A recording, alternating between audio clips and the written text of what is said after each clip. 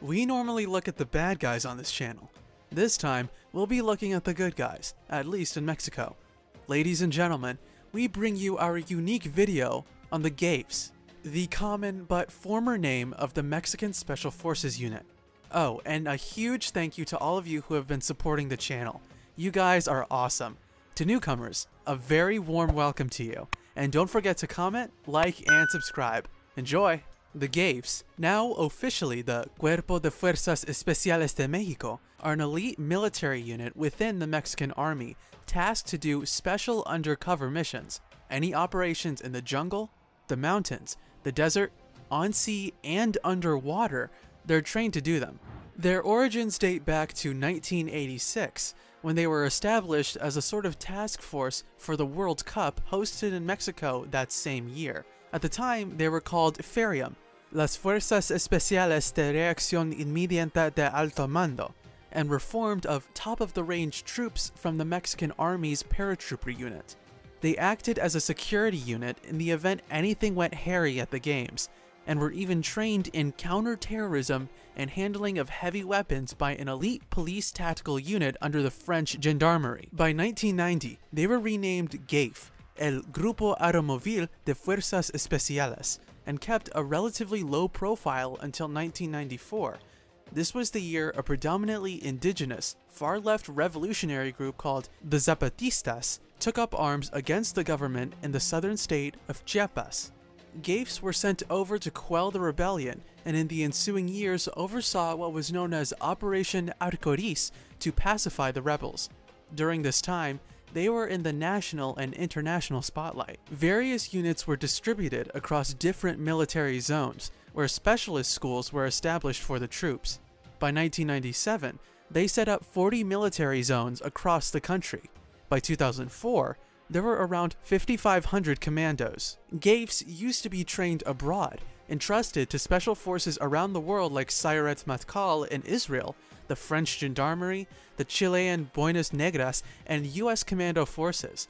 Now, Mexico has its own personnel and facilities. Special training camps are established across different parts of the country, and each one is unique in that it prepares the troops for the type of terrain where the camp is located.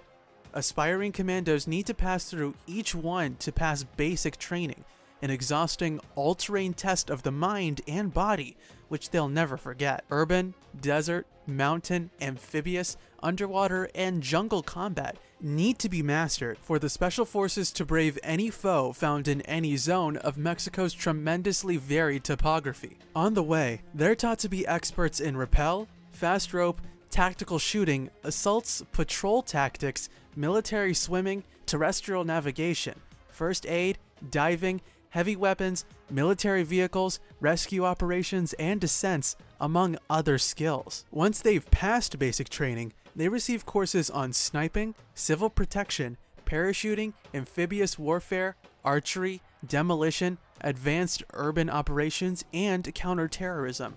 They also have to pick one of the training stations and stay there. After training, many commandos are thrown into the deep end to take out sicarios and narcos. Others engage in reconnaissance and intel, while others are tasked with taking out drug pins. In 1997, 34 GAFE commandos notoriously deserted the Corps to join the Gulf Cartel. Osiel Cardenas Guillen, the head of the cartel, bought them off along with caudillos from the Guatemalan army and made use of their military expertise, discipline, and access to their former arsenal to make up the enforcement arm of the organization. And just like that, the Zetas were born. What began as Cardenas' commando bodyguards would grow into one of the most violent drug organizations in Mexican history, one which would ultimately devour its parent group, the Gulf Cartel. Their masterful grasp of urban guerrilla warfare included fear tactics, surprise attacks, among other assets, would bring the ruthlessness of cartel wars to new heights and set a new standard for rival cartels across the region. But then, the skills and know-how of the Zetas were drawn from the same special forces that were going to counter them. These were the guys, and not just any, but an even smaller, more elite group within the Special Ops Corps who were tasked to take them down. In November 2002, the GAFES located and gunned down the Zetas' first co-founder, Arturo Guzman Decena, aka Z1, inside a restaurant in Matamoros. And various top dogs of the first generation of Zetas were taken down by the squadron, not to mention high-ranking drug lords in the Gulf Cartel. On March 14, 2003, Osiel Cardenas Guillen was captured by the same subgroup of the Commando Corps after a shootout with members of the Gulf Cartel in Matamoros. The capture shook the cartel's foundations and proved to be one of the most effective special missions overseen by the Commando Corps. This was the climax of a six-month military operation, which was planned and carried out in complete secrecy. Only government officials were aware, then Mexican President Vicente Fox, as well as the Secretary of Defense and the Attorney General. If you're wondering who this elite within the elite is, well, we'd like to tell you about them, but truth be told, there's very limited info out there, given the utmost secrecy their military operations necessitate. Formerly, this group was the GAFES del Alto Mando. They're now called the Fuerza Especial de Reacción, or the FES. Their missions are directly assigned by the President and Secretary of Defense, are carried out completely covertly, and pertain to issues of national security. Counterterrorism and direct action are their main niches. Therefore, these are usually the guys who are tasked with tracking and taking out or capturing the most dangerous and elusive cartel criminals. They're believed to be the best commando squadron in Latin America and one of the world's top tier commando groups. Not much is known about the unit's structure. It's made up of no more than 150 commandos. They're experts in parachute jumping and close quarter battle training. They often wear multi-cam uniforms and Ops-Core helmets, with their faces concealed behind masks. Having undergone the all-terrain GAFE training, they're equipped and trained for all settings and military tasks, with access to the full range of the Mexican Army's arsenal, as well as the basic training. They pass extra physical, IQ, and corruptibility tests. Though one of these is believed to be a result of speculation and only two are known to the public. Since these are the cream of the special forces and are tasked with taking out the top dogs of the cartel world, they need to be as honest and incorruptible as they come. They constantly train with Israel's Mossad, France's elite tactical unit of the Gendarmerie, various American special forces, among other special ops units from Canada, Germany, Peru, Colombia, and etc. Similar to Delta, they preserve their identities, use civilian clothing while at military camp, and are allowed to have beards, tattoos, and long hair. They often lead double lives to disguise their responsibilities. They can seemingly work in administrative roles, or appear to only take part in activities of minor military importance.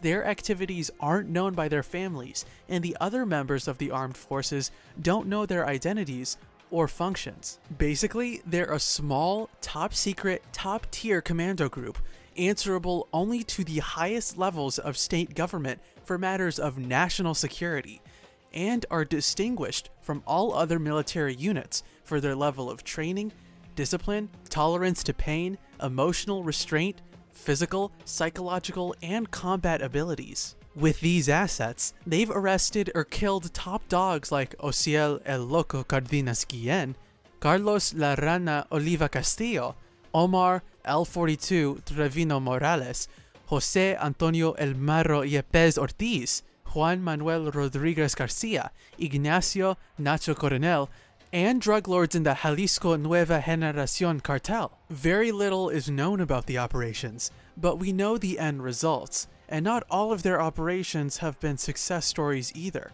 In 2015, the infamous Jalisco attacks on May 1st cost the lives of five FER operators on board the Mexican Air Force EC-725 Super Cougar helicopter, shot down by an RPG.